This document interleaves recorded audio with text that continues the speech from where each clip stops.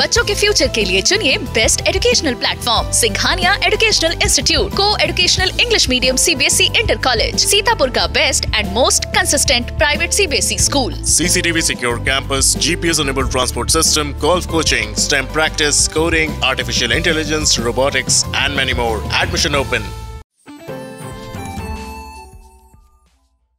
Raja Virat की नगरी में निकली शोभा यात्रा में।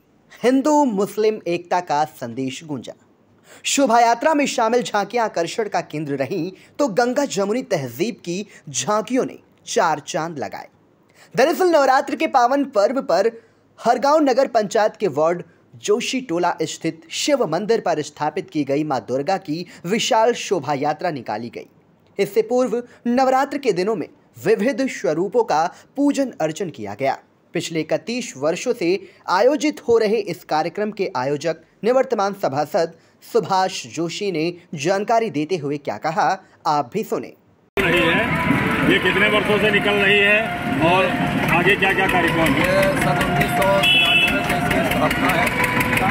आज इस कार्यक्रम का इक्कीस साल हो गया है और समस्त नगरवासियों के सहयोग से समस्त जनता के सहयोग से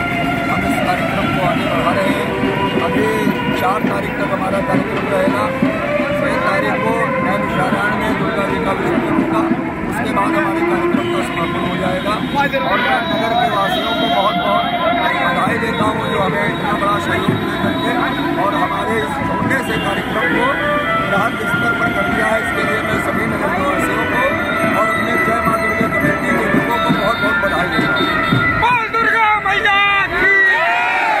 शोभा यात्रा में माँ दुर्गा गणेश शिव श्री राम दरबार लवकुश भगवान विष्णु की आदि झांकियों ने मन मोहा शिव के रूप में सजे कलाकार ने भक्ति गीतों पर नृत्य प्रस्तुत कर श्रद्धालुओं को आकर्षित किया। इस मौके पर निवर्तमान चेयरमैन गफ्फार खां, पूर्व चेयरमैन हरिनाम बाबू मिश्र, पूर्व जिला पंचायत सदस्य अरुणेश त्रिपाठी, सुनील जोशी, जमुना जोशी, कौशल जोशी बाल मुकुंद जोशी, मिथुन जोशी, चेता जोशी, शोभित जोशी, दीपक जोशी ब्रज किशोर जोशी, सरोज जोशी, कृष्ण कुमार, मनोज कुमार सहित तमाम नगरवासी शोभा यात्रा में शामिल हुए।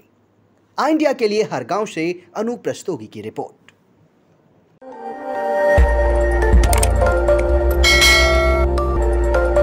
खबर आपकी, नज़र हमारी। देखते रहिए आई इंडिया।